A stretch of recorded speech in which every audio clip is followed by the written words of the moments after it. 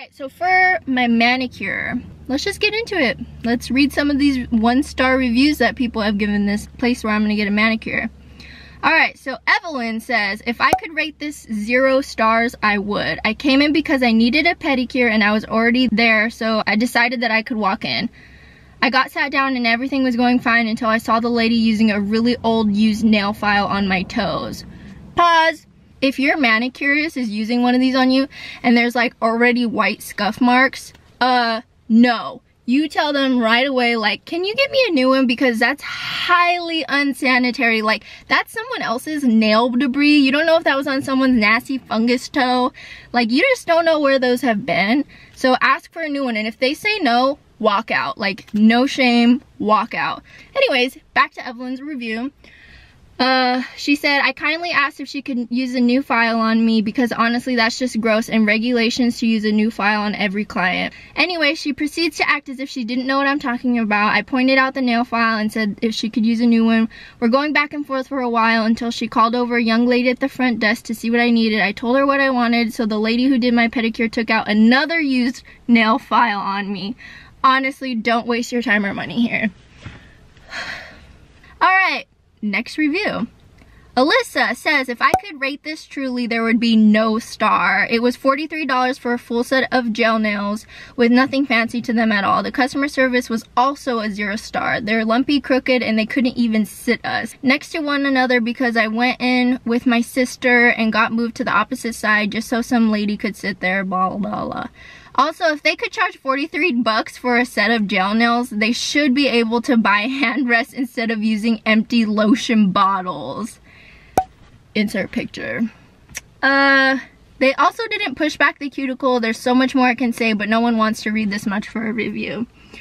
Wow, so here she put, like legit posted a picture of them using this lotion bottle as like her armrest. And uh, that's just ghetto. That's really ghetto. I would never. Uh, that just is weird. Whatever.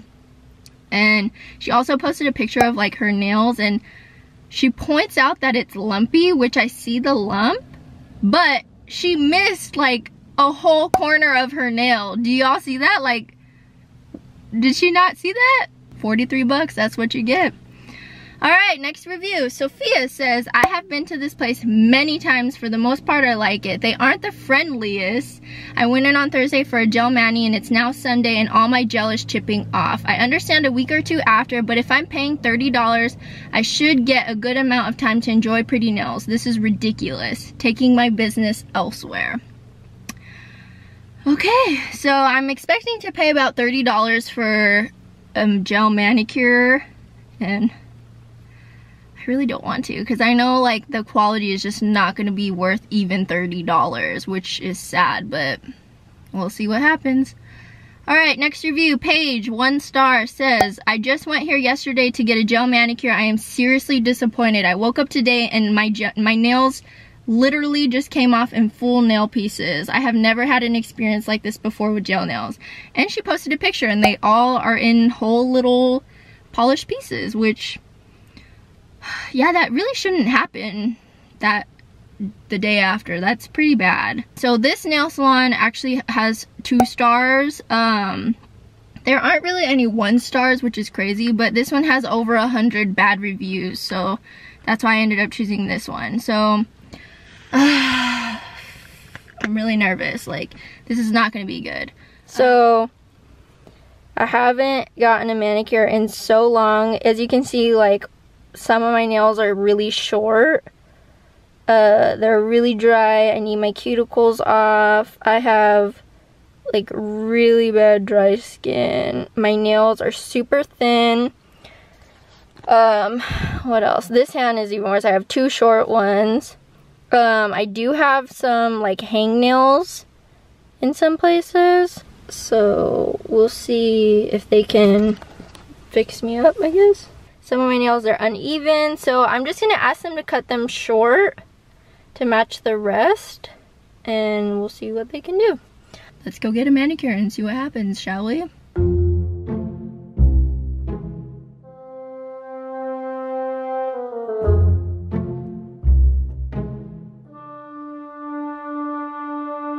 Alright guys, so as for my manicure, yeah.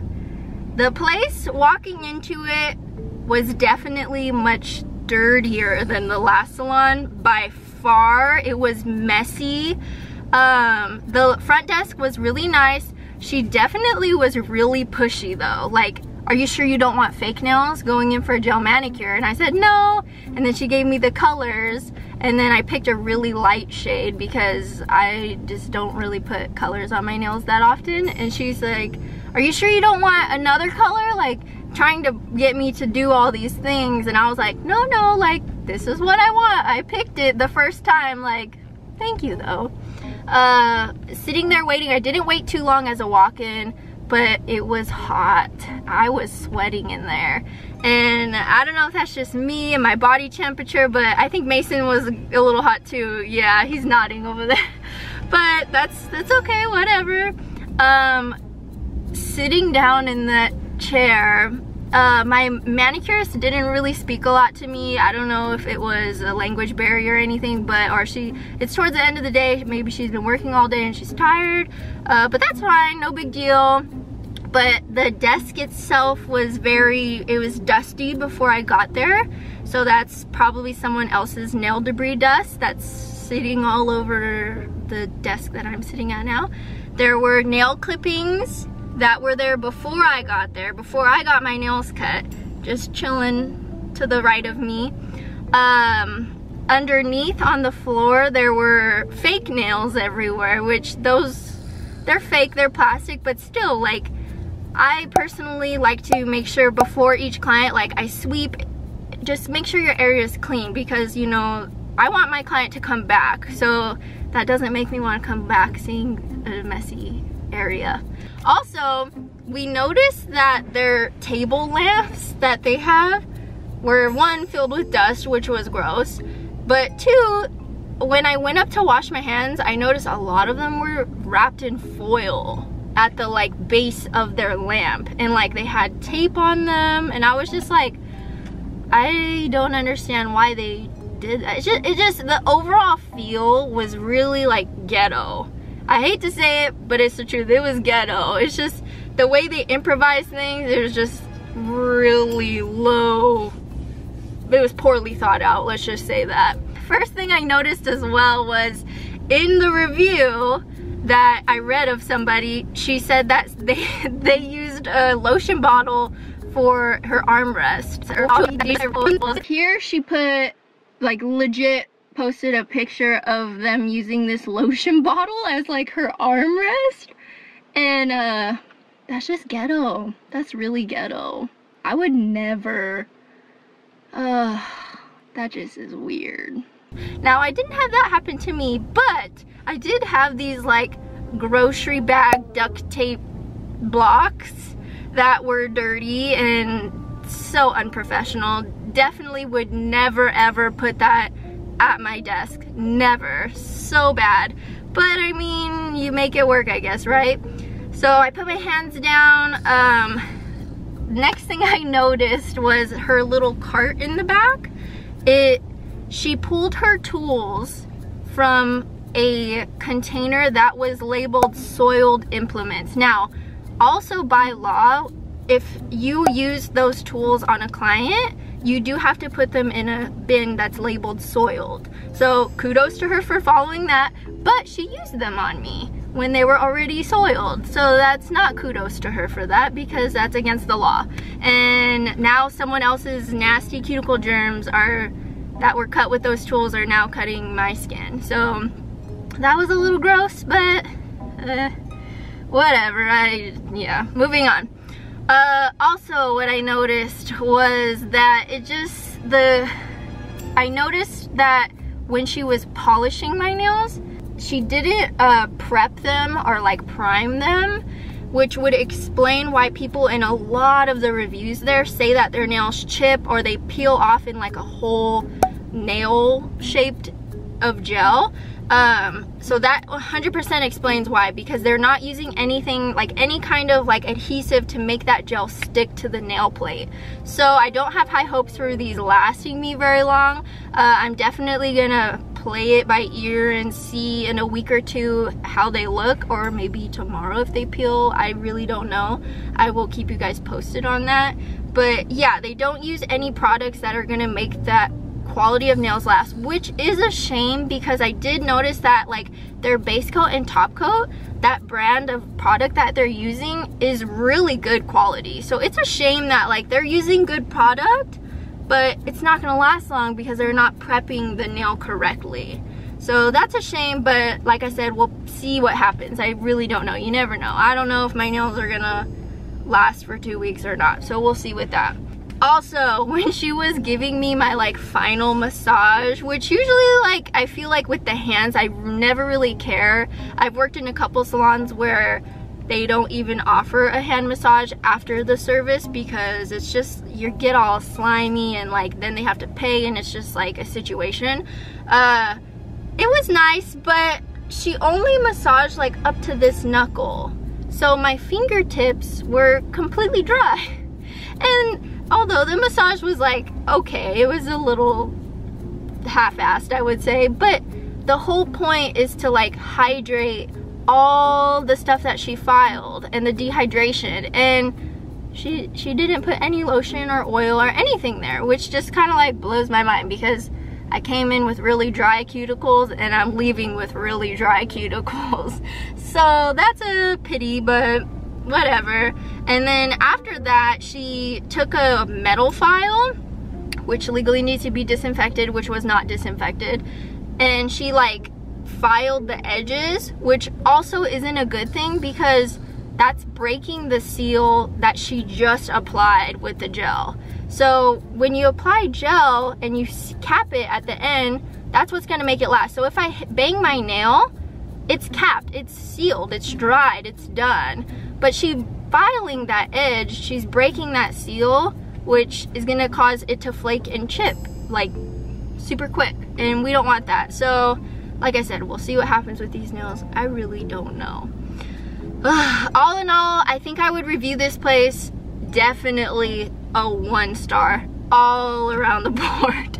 It was just walking in, I was so unimpressed. It was messy. It seemed disorganized. They the way things were on their desk, it just was highly unprofessional, highly unsanitary, just not appealing at all. There is no way, shape, or form I would want to go back there. And that's just the honest to goodness truth. And I absolutely agree that everything, every review I read was probably pretty accurate. I know that some of them were pretty harsh, but you know, you gotta make sure you want your customer to come back. And I I don't want to go back ever. It just, it was a bad experience, but you know, I was nice. I still, it was $25 for my gel manicure, which was extremely cheap. And you get what you pay for when you go to these. That's all I can say. You know, if you want to pay for a $25 gel manicure, then that's what you're going to get. You're going to get poor quality and you're going to get a mess and you're going to get really unsanitary areas. So that's all I could say. Again, if you like this video, make sure you give it a big thumbs up. Also, make sure you tell me where you get your nails done. So comment down below what your salon experience is like because I'm really curious like does everybody think this is normal, clean? Because I feel like people go to these salons and they think it's normal, but it's not normal. So tell me what your experience is like. I'd really like to know. But anyways, that's all I have for you guys for this video and I'll see you guys next time. Okay, so as for an update on how the nails are lasting, they're not doing so well. It's been about a week and within I think it was like two or three days one of them started like peeling at the edge and now more than half of them are all chipped at the bottom and my the skin around my edges is uh, I feel like I have more hangnails now than I did before. And yeah it just it wasn't the best $25 I've ever spent but what can you do? I know a lot of people are really like nervous about getting like their cuticles cut and stuff and I just want to make it clear that like everything I know is for the state of California. That's the state that I am licensed in. So wherever you live, your laws are going to be totally different than mine per se. Just make sure you do your research of where you live and just see what like your sanitation laws are. They're relatively similar, but some things are different. Like I guess some states you you're not even supposed to cut the cuticles. And in the state of California, it says that only the upper layer of the skin, known as the epidermis, may by any method or means be removed. And then only for the purpose of improving the appearance of the skin. So when we go to school in the state of California, we are trained on how to, on what areas to properly cut and not cut and how to do it safely. So your state might be totally different and that's why usually I expect my cuticles or hangnails and stuff like that, that dry areas of skin on my nail bed to be cut. So that's just for my state and if you don't want them to cut it, you can ask them not to cut it. Um, but I like it cut. I like it to look really smooth and really clean and if it's done properly it won't make me bleed and I've never ever ever had any problems with infections or anything like that. Some of that skin is to protect your nail your nail bed from getting like infections and bacteria and stuff like that. But if you're trained properly, you'll know what parts to cut and what parts not to cut. So just be aware of that. Um, but like I said, make sure you do your research for the state that you live in. That's really important. So like I said, this is for California. California is one of the states that we need the most hours of schooling in order to get our license. So yeah, just learn what your regulations are per your nail salons. And that goes for anything, hair, makeup, all that stuff. Like every there's different rules for different things too. I know I look crazy, but I just can't tame the mane today. So don't mind me. That was my manicure experience. It is what it is.